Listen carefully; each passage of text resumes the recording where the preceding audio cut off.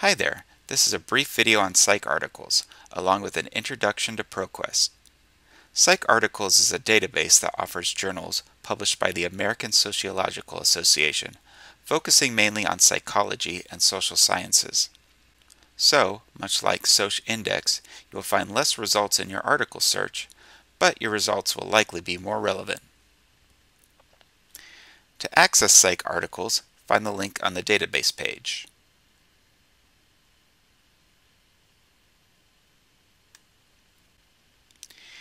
Using the advanced search, I'll enter in my keywords.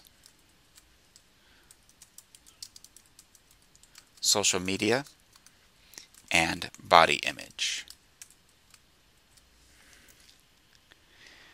I'm also going to select peer-reviewed to exclusively access peer-reviewed scholarly articles. You can also limit the publication date uh, I like to find articles published in the last 10 years. So what I'm going to do is select publication date after this date and then type in the year 2010.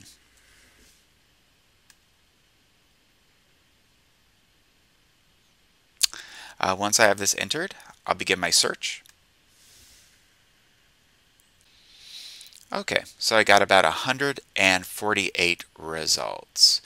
One thing I like to do before going through the articles themselves is to change the sorted by. So it puts the most recent article at the top. I like to change this to relevance. So select relevance. What this does, it brings the most relevant, often cited articles to the top. So once that updates, uh, at this point you could go through your articles. Uh, once you find an article that looks relevant and jumps out at you, go ahead and click on the title. Here's one called Camera Ready, Young Women's Appearance-Related Social Media Consciousness.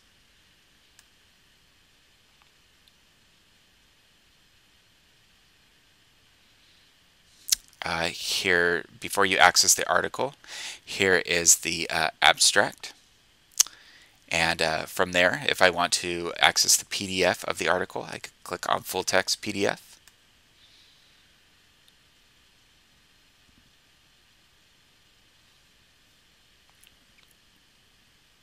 Okay, and here is my article. There are a number of tools available to you. Uh, you can download this in PDF form. Also, here is the citation generator. I'm going to click on that. Okay, so I want to see if ASA style is available. If I click there, it defaults to MLA 7th edition.